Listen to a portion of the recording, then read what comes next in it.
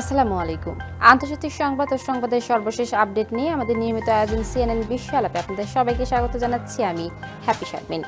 দেশের বাইরে পৃথিবীর দূর দূরান্তে ঘটে যাওয়া আলোচিত গুরুত্বপূর্ণ সংবাদ নিয়ে সাজানো হয়েছে আমাদের এই আয়োজনটি।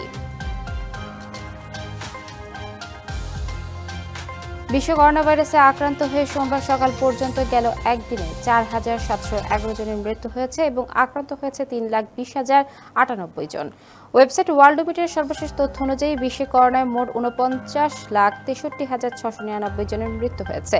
ওয়ার্ল্ডোমিটের সর্বশেষ তথ্য বলছে, বিশ্বে করোনায় মোট আক্রান্ত চব্বিশ কোটি চুয়াল্লিশ লাখ পঁচিশ হাজার একশো উনচল্লিশ জন।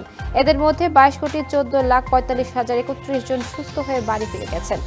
এদিকে করোনার সবচেয়ে বেশি ক্ষতিগ্রস্ত দেশ যুক্তরাষ্ট্রে এখন পর্যন্ত করোনায় আক্রান্ত হয়ে মৃত্যু হয়েছে সাত লাখ ছাপ্পান্ন হাজার তিনশো বাষট্টি জনের। দ্বিতীয় অবস্থানে থাকা ভারতে এ পর্যন্ত চার লাখ চুয়ান্ন হাজার সাতশো তেতাল্লিশ জন মারা গেছেন। ভারতে এ ওয়াই ফোর টু নামে করোনার নতুন এই ধরন শনাক্ত হওয়ায় দেশটিতে বেড়েছে করোনার সংক্রমণ। এ ওয়াই ফোর টু ধরনটি করোনা অতি সংক্রামক ধরন ডেল্টা গোত্রের বলে জানায় ভারতের জাতীয় রোগ নিয়ন্ত্রণ কেন্দ্র এনসিডিসি। এনসিডিসি বিজ্ঞানীরা জানান, জিনোম সিকোয়েন্সি করে সাতজনের নমুনায় এ ধরন শনাক্ত হয়েছে। আক্রান্ত ব্যক্তিদের মধ্যে দুইজন সেনা কর্মকর্তা, এছাড়া মহারাষ্ট্রে এক শতাংশ নমুনাতেও নতুন ধরনের এই সংক্রমণ শনাক্ত হয়েছে।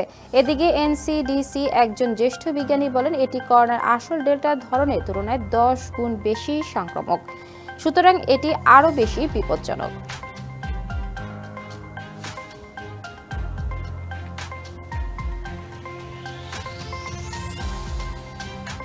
করোনা মহামারী শুরুর পর সবচেয়ে খারাপ সময় পার করছে পূর্ব ইউরোপের দেশগুলো। সংক্রমণ নিয়ন্ত্রণে হিমশিম খাচ্ছে রাশিয়া, ইউক্রেন ওমানিয়া সহ বেশিরভাগ দেশ।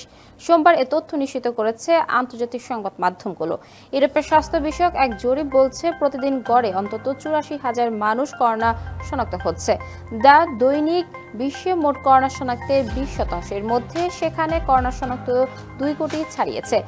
বাষট্টি শতাংশ মানুষকে অন্তত এক ডোজ টিকা দিয়ে কিছুটা এগিয়ে আছে হাঙ্গেরি। তবে ইউক্রেনের ক্ষেত্রে এর হার মাত্র উনিশ শতাংশ। রাশিয়ায় দৈনিক মৃত্যু হয়েছে হাজারের ঘরে। দেশটিতে অন্তত এক ডোজ টিকা পেয়েছেন মাত্র ছত্রিশ শতাংশ মানুষ।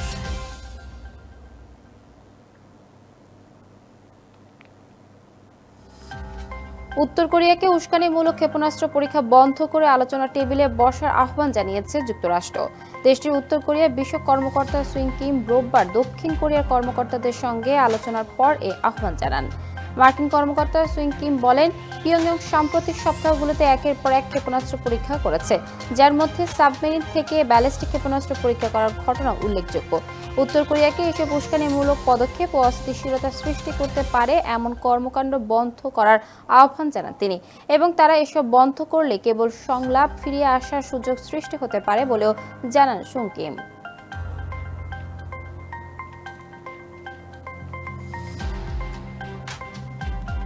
কঙ্গোয় অজানা রোগে আক্রান্ত হয়ে একশো পঁয়ষট্টি শিশুর মৃত্যু হয়েছে। দেশটিতে দক্ষিণ পশ্চিম ভাগে এই রোগ ও মৃত্যুর মিছিল শুরু হয় গেল আগস্টে।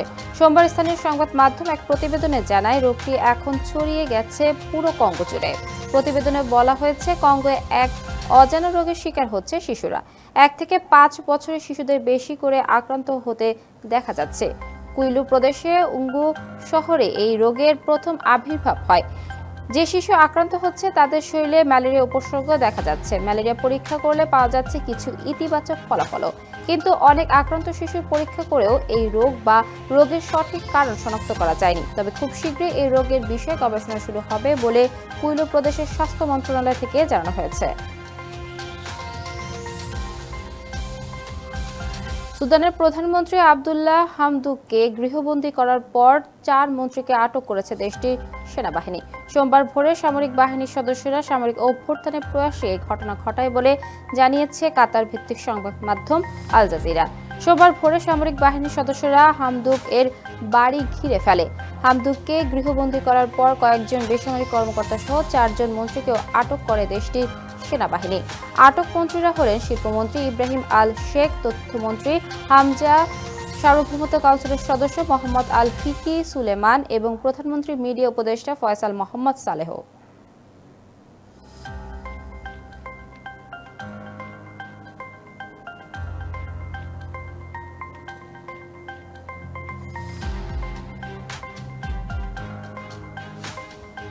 যুদ্ধ বিধ্বস্ত ইয়েমেনের উত্তরাঞ্চলে তেল, গ্যাস সমৃদ্ধ মারিব অঞ্চলে সৌদি নেতৃত্বাধীন জোটের বিমান হামলায় দুশো জনের বেশি হুতি সদস্য প্রাণহানি ঘটেছে। দেশটি কৌশলগত গুরুত্বপূর্ণ মারিবে গেল তিন দিনে হামলায় বিদ্রোহী গোষ্ঠী হুতিদের এই প্রাণহানি ঘটেছে বলে রোববার সৌদি জোটের এক বিবৃতিতে জানানো হয়। বিবৃতিতে বলা হয়, হামলায় বিদ্রোহীদের ছত্রিশটি সামরিক যানবাহন ধ্বংস হয়ে গেছে আর দুশো চৌষট্টি জনের বেশি হুতি বিদ্রোহী নিহত হয়েছেন। মারেবের পঞ্চাশ কিলোমিটার দক্ষিণে আল জাওবা এবং আল কাসাসারার ত্রিশ কিলোমিটার উত্তর পশ্চিমে এই হামলা চালানো হয়। তবে ইরান সমর্থিত ইয়েমেনের এই বিদ্রোহী গোষ্ঠীর পক্ষ থেকে সৌদি জোটের হামলায় হতাহত বা ক্ষয়ক্ষতির বিষয়ে কিছু জানা যায়নি।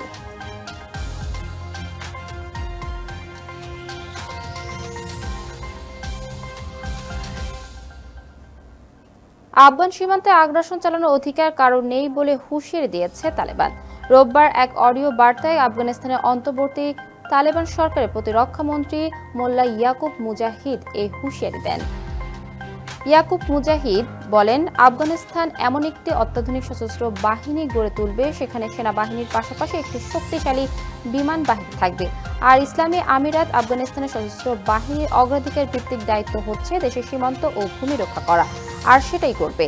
এদেশের সীমান্ত ও সীমার মধ্যে আগ্রাসন চালানোর অধিকার কারণেই এবং সেরকম অনুমতিও কাউকে দেওয়া হয়নি।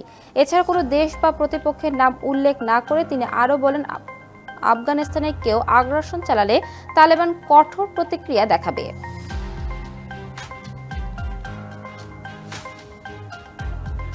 এদিকে তালেবানের সঙ্গে যুদ্ধে হেরে যাচ্ছিল বলে সমঝোতার আশ্রয় নেয় যুক্তরাষ্ট্র বলে মন্তব্য করেছেন আফগানিস্তানে নিযুক্ত সাবেক মার্কিন বিশেষ দূত জালমি খালিজাদ সোমবার সিবিএস নিউজকে দেওয়া এক সাক্ষাৎকারে এই মন্তব্য করেন তিনি। জালমি এ সময় বলেন, মার্কিন সেনারা দেশটিতে নিজেদের অবস্থা শক্ত করার অনেক চেষ্টা করলেও তা সফল হয়নি। ফলে দেরি না করেই বিকল্প উপায় হিসেবে দলটির সঙ্গে সমঝোতা করেন তারা। তিনি আরও বলেন, বিশ বছরের মার্কিন উপস্থিতি দেশটিতে গণতন্ত্র ফেরাতে ব্যর্থ হয়েছে। গেল পনেরোই আগস্ট আফগানিস্তান দখল করে তালেবান। পরে অন্তর্বর্তী সরকার গঠন করলেও এখনও পর্যন্ত তালেবান সরকারকে স্বীকৃতি দেয়নি কোনো দেশ।